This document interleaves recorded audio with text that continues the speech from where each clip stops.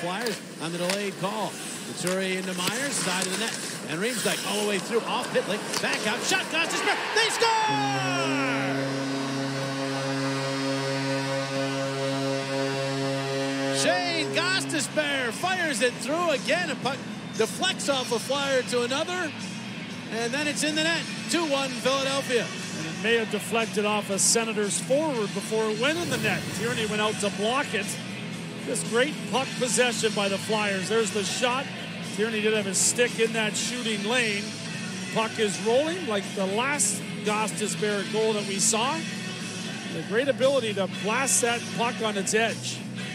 He scored against the Maple Leafs in a similar fashion. There you can see it redirect. No chance for Anderson. And the Flyers take full advantage of the delayed penalty that was going to be called against the Ottawa Senators.